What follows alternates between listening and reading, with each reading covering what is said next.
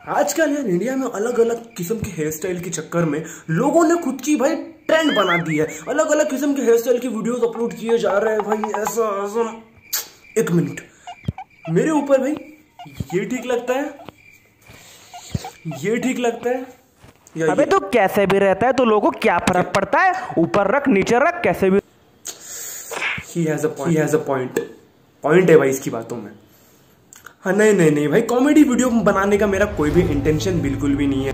Guys मैं सिर्फ़ awareness के ऊपर वीडियोस बनाता हूँ और, और मोटिवेशन के वीडियोस बनाता हूँ। गाइस मैं ऐसे क्यों कर रहा हूँ? हेयर स्टाइल के ऊपर वीडियो क्यों बना रहा हूँ? गाइस केरला के एक बारह साल के एक लड़के ने हेयर स्ट्रेटनिंग घर पे करने के चक्कर में खुद की जान ले ली। उसने केरोसिन अपने सिर के ऊपर डाल के वहाँ पे आग लगाकर हेयर स्ट्रेट करने की कोशिश की और उसमें अपनी जान गवा बैठा। गाइज़ ऐसा क्यों हो रहा है? मतलब ऐसा सोशल मीडिया के ऊपर इंस्टाग्राम के ऊपर और अलग अलग सोशल मीडिया प्लेटफॉर्म के ऊपर जो वीडियोस आते हैं, उन सब चीज़ों को देखकर बच्चे अपने घर में अलग अलग एक्सपेरिमेंट करके खुद की जान जोखिम में डाल रहे, जा रहे हैं। गाइस ऐसा क्यों हो रहा है? गाइस मतलब भाई, तुम्हें जिस चीज़ की प्रॉपर नॉलेज नहीं होती, भाई, तुम वो चीज़ें खुद के ऊपर ट्राई क्यों करते हो?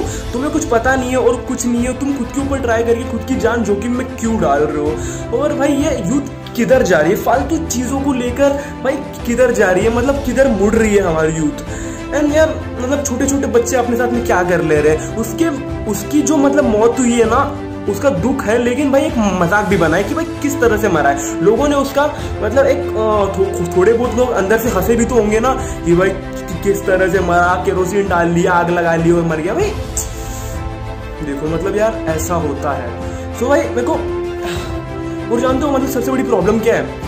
प्रॉब्लम हमारी है कि हम लोगों को जज करते हैं कि भाई उसके बाल ऐसे हैं। उसके बाल वैसे हैं। उसका मतलब बालों की बात नहीं है भाई, ये मोटा है, वो पतला है, वो काला है, वो गोरा है, ऐसा सुकड़ा है या मतलब वो- वो अजीब अजीब तरह से निकल ये बोना उनके ये किए जा रहे हैं।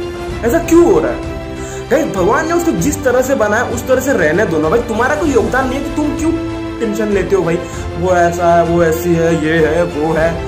एंड भाई, सबसे पहली चीज़, लोग आपके बालों की तरफ़ ध्यान नहीं देते। लोग आप ना ही लोग आपके बालों की तरफ़, ना ही आपके अटायर की तरफ़ मतलब हमेशा ध्यान देते। हैं आप कहीं जहाँ पर आप कहीं सर सवर के जाते हो तो लोग लोग एक नज़र ही आपके ऊपर देखते हो। उसके बाद अपने काम में बिज़ी हो जाते हैं। क्योंकि लोग खुद के इसमें ज़्यादा मतलब होता है, दूसरों के इसमें नहीं। तो भाई हम लोगों को देखकर हम खुद के खुद में चेंज क्यों लाते हैं? अगर लोगों को देखकर हम खुद में अगर ग्रोथ कर सकते तो वो वो, वो चीज़ें करो। लेकिन आपको जिस अटायर में आप कॉन्फिडेंस फील करते हो ना उसी अटायर में रहा करो। ये जो मेरी हेयर स्टाइल है ना मतलब बहुत से लोगों को मेरे खुद खुद के दोस्त बोलते हैं भाई ये तुझ पे सूट नहीं करती।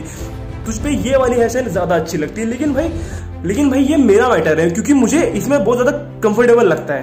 क्यों? क्यों भाई ये मेरे लिए ठीक है।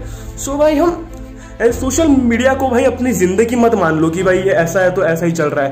क्योंकि यार, ऐसा मत करो, क्यों?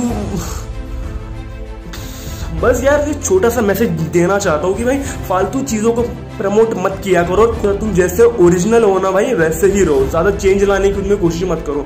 करना है तो खुद की ग्रोथ करो यार। खुद को मतलब ऐसी चीज़ें सिखाओ जो आपको आगे चले काम में आने वाली है। एंड किसी को फ़र्क नहीं पड़ता भाई, आप कैसे रहते हो। क्योंकि किसी के पास समय नहीं है। लोगों को खुद के लफड़े सुलटाने में यार समय नहीं मिलता। तो तुम्हारी लाइफ में क्यों एंटर लेंगे? तुम्हारे बालों की तरफ़ क्यों ध्यान देंगे? तुम्हारे ऊपर क्यों ध्यान देंगे? खुद के ऊपर ध्यान दो तुम। बस, इतना ही बोलना है। थैंक यू गाइस प्लीज़ ऐसी चीज़ें मत करा करो, खुद के ऊपर एक्सपेरिमेंट मत करा करो ज़्यादा।